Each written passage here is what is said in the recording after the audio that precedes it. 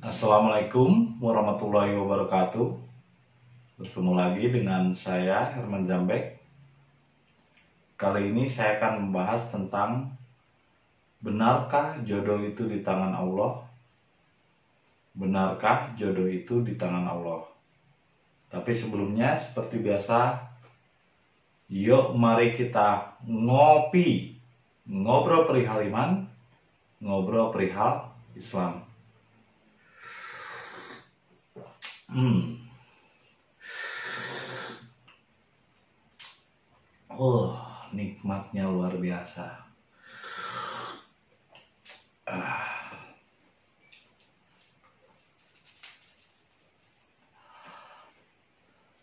Apakah benar jodoh itu di tangan Allah? Ini banyak mungkin sebagian orang bertanya seperti itu. Bahkan diri kita pun bertanya seperti itu. Benarkah jodoh itu di tangan Allah? Ya benar. Tapi Allah yang mana? Karena Allah itu meliputi Allah itu meliputi semua unsur ciptaannya.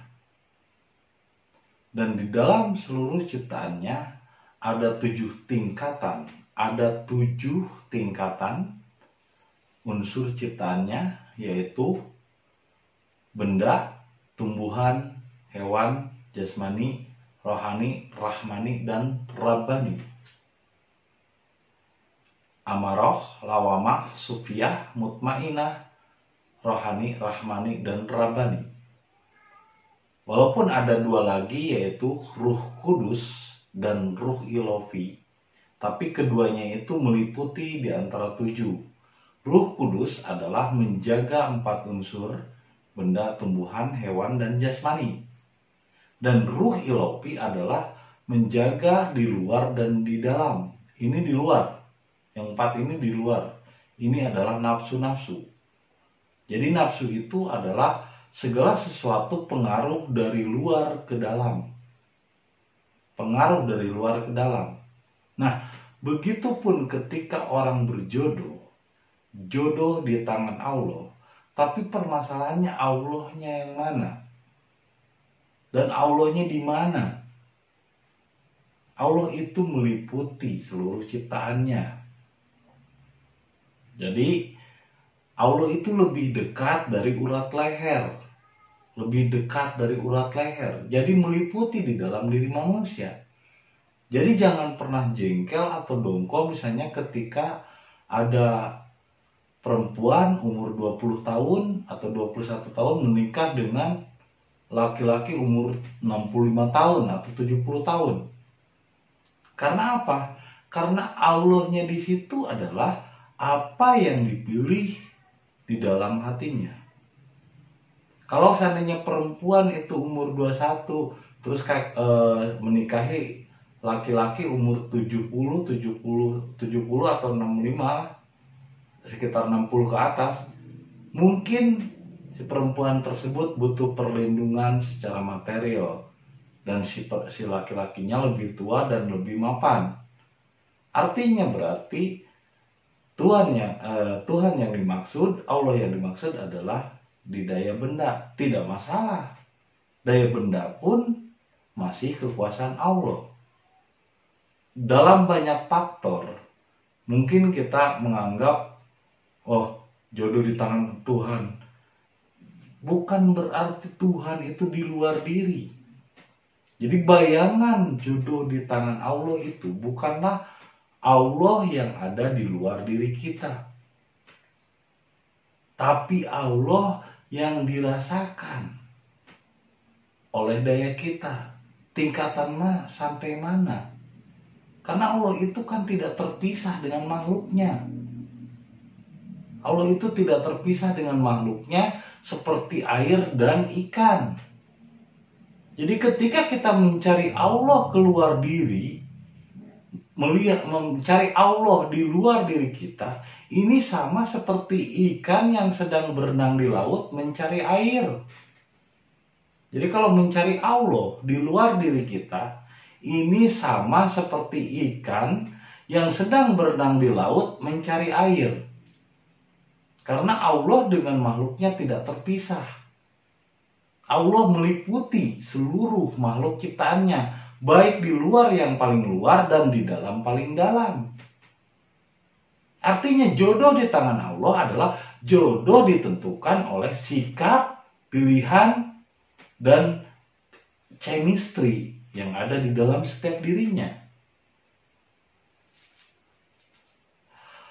Jadi jodoh yang dimaksud jodoh di tangan Allah adalah jodoh yang ditentukan oleh sikap, pilihan, dan chemistry atau getaran di dalam hatinya. Jadi jodoh itu ditentukan oleh setiap diri. Jodoh itu ditentukan menurut kereteng, menurut getaran hatinya, menurut chemistry yang ada di dalam setiap dirinya. Karena Allah menjelma ke dalam seluruh ciptaannya. Karena Allah meliputi seluruh ciptaannya. Jadi Allah dengan manusia, dengan makhluk, dengan seluruh makhluknya itu tidak terpisahkan. Bukan seperti bayangan ahli kitab atau bayangan ustad-ustad yang mengatakan Allah itu di luar dirinya, jauh-jauh di, di sana. Bukan. Allah itu meliputi diri. Lalu ketika ada orang yang jahat, yang memang mungkin dikendaki oleh Allah untuk jahat, untuk lebih dominan kepada nafsu benda, tumbuhan, hewan, dan jasmani. Adapun manusia yang ingin kembali pada Allah, maka segala sesuatunya dikembalikan kepada Allah dengan cara berserah diri kepada Allah. Itulah yang dinamakan Islam. Jadi Islam itu berserah diri kepada Allah. Nah, kalaupun misalnya seseorang saya lebih mencintai dunia, ya nggak masalah. Saya uh, saya lebih mencintai uh, ilmu dan lain sebagainya. Itu sesuai tingkat dan tahap orang tersebut. Karena setiap diri memiliki tingkatan dan levelnya.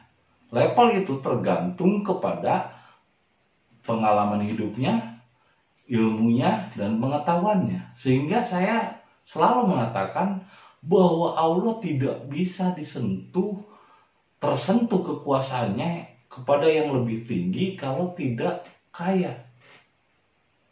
Kalau miskin dia tidak akan bisa menemui Allah kepada jenjang yang lebih tinggi. Nah, dalam arti miskin di sini dan kaya di sini bukan tentang materi. Nah, kaya di sini bukan berarti tentang materi tapi ilmunya, pengalamannya, atau dia berbagi. Itu kaya. Bagi saya, saya tidak melihat seorang kekayaan itu dari materi. Walaupun dia tidak punya materi, tapi dia memiliki kekayaan hati, bagi saya adalah orang kaya. Meskipun dia pas-pasan, tapi dia senantiasa berbagi dengan orang lain, bagi saya adalah orang kaya. Jadi kaya dan miskin bukan materi ukurannya. Jadi di sini saya mengatakan hanya orang-orang yang kaya lah yang dapat menghampiri kepada ruh rohani. Papat kelima pancer. Sedangkan orang-orang miskin tidak akan bisa menentuhnya, menyentuh ruh rohani. Kenapa saya mengatakan hanya orang kaya? Kaya di sini juga bukan berarti materi, tapi kaya harta, kaya maaf, kaya eh, kayaknya di sini adalah suka memberi, suka berbagi walaupun hidupnya pas-pasan, suka menolong, terus juga dia banyak belajar, banyak eh, apa mempelajari bagai, berbagai macam hal apalagi tentang ketuhanan. Dia banyak belajar. Dari situlah dia bisa melintas. Walaupun menuju berserah diri ini tidak boleh dengan belajar, tidak ada pelajarannya. Berserah diri itu tidak ada pelajarannya, tapi tahap menuju berserah diri dengan nafsu mutmainah. Nafsu mutmainah ini adalah harus pintar, harus paham dulu, harus ngerti dulu. Makanya kalau orang bodoh tidak akan bisa sampai kepada ruh ruhani atau spiritual. Karena spiritual doesn't come from religion, it's come from our soul. Jadi spiritual itu tidak datang dari agama tapi datang dari jiwa. Jadi ini yang harus dipahami bahwa jodoh di tangan Allah bukan Allah di luar diri yang terpisah dengan makhluknya, tapi Allah yang meliputi setiap makhluk ciptaannya. Jadi jodoh di tangan Allah adalah jodoh yang ditentukan oleh kehendak hatinya, keinginan hatinya. Sehingga meskipun kakek-kakek menikah dengan uh, wanita muda ataupun sebaliknya misalnya nenek-nenek menikah dengan yang lebih muda tidak masalah. Karena semua ditentukan oleh kehendak hatinya, kesenangan hatinya. Karena jodoh ditentukan oleh dirinya. Jodoh ditentukan Allah di sini bukan Allah di luar diri. Karena Allah meliputi ke dalam diri manusia. Tapi kalau ini semua kebanyakan hanyalah jodoh sehati. Yang ada di dunia ini kebanyakan jodoh sehati.